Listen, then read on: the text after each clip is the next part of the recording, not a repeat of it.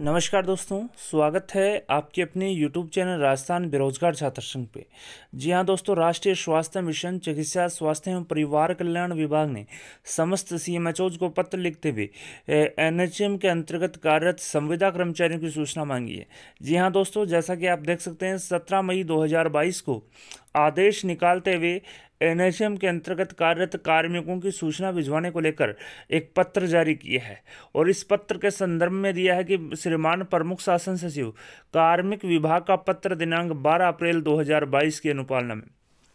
मैं बता दूँ, विभिन्न विभागों में कार्यरत संविदा कर्मचारियों को Rajasthan contractual appointment to civil post rules 2022 लागू करने, स्क्रीनिंग करने सहित विभिन्न जो बिंदु है, उनकी अनुपालना को लेकर 11 जनवरी 2022 को कार्मिक विभाग ने एक अधिसूचना जारी की गई थी।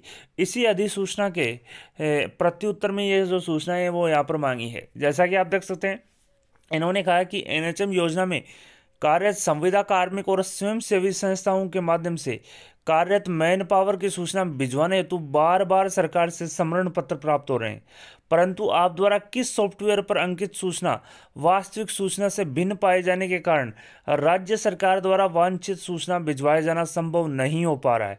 तो दोस्तों, इनका कहना है कि जो सूचना है, संविदा कर्मचारी साथ ही प्लेसमेंट एजेंसी के जो कार्मिक कार्यरत हैं सरकार उनकी सूचनाएँ बार बार मांग रही है, लेकिन आप क्रिस जो सॉफ्टवेयर है उसमें जो आपने जो सूचना अंकित की है और जो वास्तविक सूचना है, उसमें भिन्नता है डिफरेंस है। इसकी वजह से जो सूचना है, राज्य सरकार या कार्मिक विभाग को भिजवाया जाना संभव नहीं हो पा रहा है। अतः इन्होंने कहा है कि प्राप्त दिशा निर्देश के निर्देशानुसार पत्र के साथ संलग्न प्रपत्र फ़र्स्ट, संविदा कार्मिक का, और जो सेकंड जो प्रपत्र है, वो स्वयंसेवी संस्था कार्मिकों का है। में वर्णित कॉलमों में सूचना अंकित कर संपूर्ण सूचना का आपके कार्यालय में उपलब्ध रिकॉर्ड से मिलान करते हुए संवर्गवार फर्तक फर्तक प्रपत्रों में तैयार करें। सूचना की हार्ड कॉपी मय हस्ताक्षर और सील तथा एक्सल सीट में टाइम्स न्यू रोमन फोंट में सॉफ्ट प्रति के साथ आपके कार्यालय में पद स्थापित जिला कार्यक्रम प्रबंधक और जिला नोडल नोडल अधिकारी के साथ निम्नांकित तिथियों को एचआर अनुभाग के कमरा संख्या 218 द्वितीय तल, स्वास्थ्य भवन, जयपुर में प्रातः 10 बजे भिजवाए जाना सुनिश्चित करें।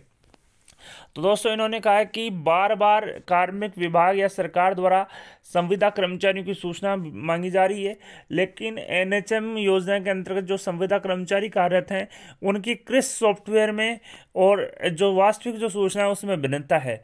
अतः प्रपत्र फ़र्स्ट में संविदा कर्मचारियों की और प्रपत्र सेकंड में जो प्लेसमेंट एजेंसी के माध्यम से जो कार्यरत कार्मिक हैं, उनकी जो सूचना है, आप अपनी जिलों की डेट के अनुसार एचआर जो है, भवन, उसमें आपको अनुभाग, एचआर अनुभाग में कमरा संख्या 218 सेकंड फ्लोर स्वास्थ्य भवन में। प्रातः दस बजे सूचना के साथ हार्ड कॉपी और सॉफ्ट कॉपी के साथ प्रस्तुत होना है। मैं बता दूँ, अजमेर, टोंक, भीलवाड़ा और नागौर को एक जून, बीकानेर, हनुमानगढ़, गंगानगर और चूरू को तीन जून, भरतपुर, धौलपुर, करौली, सवाईमाधोपुर को छः जून, जयपुर, फरतम, जयपुर, द्वितीय, अलवर, दौसा, झुंझुनू और सीकर को सात जून जोधपुर, बाड़मेर, जैसलमेर, पाली, सिरोही एवं जालोर को आठ जून, कोटा, बूंदी, बारा और झालावाड़ को नौ जून उदयपुर राजसमंद प्रतापगढ़ डूंगरपुर चित्तौड़गढ़ और बांसवाड़ा को 10 जून को जो सूचना है उसके साथ उपस्थित होना है। परियोजना निदेशक के हस्ताक्षर से लेटर यहाँ पर जारी किया है साथ ही प्रतिलिपि दी गई है विभिन्न को आवश्यक कार्रवाई और सूचना तो दोस्तों उस आ, मैं बता दूँ Rajasthan contractual service appointment to civil post rules 2022 लागू होने के पश्चात संविदा कर्मचारियों की स्क्रीनिंग नए नियमों के तहत लाना साथ ही मानदेय में जो है परिवर्तन करने को लेकर संविदा कर्मचारियों की सूचनाएँ बार बार यहाँ पर मांगी जा रही है। साथ ही इन्होंने कहा कि कार्मिक विभाग के जो प्रमुख शासन सचिव है, उनके भी पत्र का हवाला यहाँ पर दिया इन्होंने भी इनको एक पत्र जारी किया गया था बारह अप्रैल को। इसी को लेकर इन्होंने कहा कि परपत्र फ़र्स्ट में संविदा कर्मचारी और परपत्र सेकंड में जो स्वयं सेवी संस्थान है, उनके कार्मिकों की सूचना टाइम्स न्यू रोमन फॉन्ट में टाइप करते हुए आपको भिजवानी है। मैं बता दूँ, जो परपत्र फ़र्स्ट है, वो इस प्रकार से है, आप देख सकते हैं।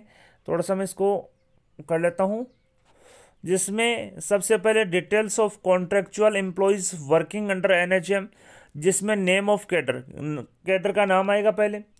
इसके बाद में आप देख सकते हैं serial number name of employee father name date of birth contractual post किस प्रकार की पोस्ट है? किस अकाउंटेंट पोस्ट पे काम कर रहा है? जीएनएम पे एनएम पे इस प्रकार से। Posting order number and date and name of issuing authority तो दोस्तों, यहाँ पर कब उसको पोस्टिंग मिली? उसका ऑर्डर कितना था? किस डेट को उसको पोस्टिंग मिली? और पोस्टिंग देने वाली अथॉरिटी का क्या नाम था? छः नंबर कॉलम में वो आएगा। साथ में date of joining on the current post उस पर जो करंट पोस्ट पे जो काम कर रहा उस पर उन्होंने ज्वाइन कब किया? नेम ऑफ़ प्रोग्राम किस प्रोग्राम के तहत भर्ती किया गया? लेवल ऑफ़ एग्रीमेंट किस लेवल पर जो है एग्रीमेंट किया गया? पोस्टिंग प्लेस कहाँ पर, किस इंस्टीट्यूट या ऑफ़िस में पोस्टेड है? किस ब्लॉक में पोस्टिंग है? पोस्टिंग लोकेशन टीएसपी एरिया में है या नॉन टीएसपी एरिया में है? Selection category general S C S T O B C M B C या E W S physical handicap है यस या नो मोड ऑफ़ सिलेक्शन किस प्रकार से सिलेक्शन किया गया? पब्लिक जो है पब्लिक एडवर्टाइजमेंट इशू किया गया या नहीं किया गया? सिलेक्शन प्रोसेस क्या था? रिटर्न एग्ज़ाम था इंटरव्यू था या अदर था? मेटर्निटी स्टेटस क्या है? मेरिड है अनमेरिड है विडो है या डाइवोर्स है? मानदेय इसको कितना दिया जा रहा है? और 31 मार्च 2022 को मानदेय कितना है इसका? रेशनलाइजेशन उसका हुआ है या नहीं हुआ? इनके बच्चे कितने हैं? एक जून 2002 के पहले कितने हैं और एक जून 2002 के बाद में कितने हैं? साथ ही, अगर सात दिन से ज़्यादा एबसेंट है या नहीं, उसका भी यहाँ पर विवरण है। यानी इंजरी कोई एक्शन पेंडिंग है इसके खिलाफ, वो भी यहाँ पे लिखना है। साथ ही वर्किंग बाई कोर्ट ऑर्डर तो कोर्ट ऑर्डर के के साथ काम कर रहा है तो उसका भी यहाँ पर लिखना है। इफ़ एनी अदर डिटेल आपको कोई भी जो डिटेल है वो ज़रूरी समझते हैं तो वो भी यहाँ पर लिखनी है। साथ ही district M and E officer D N O N H M के हस्ताक्षर होंगे। District programme officer manager N H M के हस्ताक्षर होंगे। साथ आप देख सकते हैं chief medical and health officer C M H O के हस्ताक्षर होंगे। तो इस प्रकार से जो प्रपत्र फ़र्स्ट था, वो यहाँ पर संविदा कर्मचारियों से जुड़ा हुआ है। प्रपत्र जो सेकंड है, वो स्वयं सेवी जो संस्थान है, उनसे संबंधित है, जो उसमें आप देख सकते हैं कौन कौन सी डिटेल है, तीनों के साइन होंगे district M and E officer DNO के डिस्ट्रिक्ट प्रोग्राम मैनेजर एनएचएम के और सीएमएचओ के। आप देख सकते हैं details of agency employees agency के मार्फत जो भी एम्प्लॉयज़ काम कर रहे हैं, उनकी भी डिटेल्स यहाँ पर मांगी है। नेम ऑफ़ एजेंसी या एनजीओ किस एनजीओ के तहत काम कर रहा है? टेंडर का पीरियड क्या है? Name of H R supply to the department उन जो कार्मिक एजेंसी के माध्यम से लगे उनका क्या नाम है? उनके पिता का क्या नाम है? डेट ऑफ़ बर्थ किस पोस्ट के तहत उनको लगाया गया है?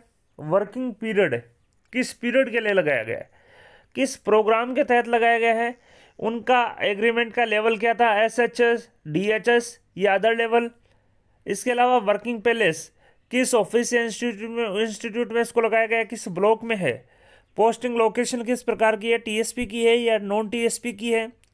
फ़िज़िकल हैंडीकैप है या नहीं? है यस या no category general OBC MBC SC ST या ईडब्ल्यूएस साथ ही कौन सी प्रोसेस से इसको अडॉप्ट की गई थी लगाने के लिए? एग्ज़ाम रिटर्न एग्ज़ाम हुआ इंटरव्यू या अदर अमाउंट में लगाया गया। मेटर्निटी स्टेटस क्या है? मैरिड है अनमेरिड है विडो है या डाइवोर्स है? Monthly consolidate payment as per tender कितना दिया जा रहा है? साथ ही monthly consolidate payment as on इकतीस मार्च 2022 को कितना दिया जा रहा है?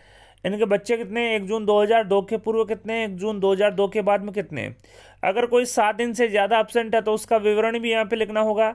कोई एक्शन पेंडिंग है इसके खिलाफ तो उसका भी विवरण यहाँ पर लिखना होगा, और अगर कोई अन्य जो डिटेल्स हैं आप ज़रूरी समझते हैं तो वो भी लिखनी होगी। तो दोस्तों एनएचएम ने भी अपने संविदा कर्मचारी और एजेंसी जो कार्मिक हैं, उनकी जो सूचनाएँ हैं, वो यहाँ पर मांग ली है। मैं बता दूँ, कार्मिक विभाग द्वारा अडोप्शन की जो कार्रवाई है, संविदा कर्मचारी और एजेंसी कार्मिकों को, वो यहाँ पर की जानी है इसी को लेकर। बार बार यहाँ पर सूचनाएँ मांगी जा रही है। वीडियो पसंद आए तो अपने दोस्तों के साथ लाइक और शेयर करना ना भूलें। आपके अपने यूट्यूब चैनल राजस्थान बेरोजगार छात्र संघ को सब्सक्राइब या सब्सक्राइब करें। धन्यवाद दोस्तों।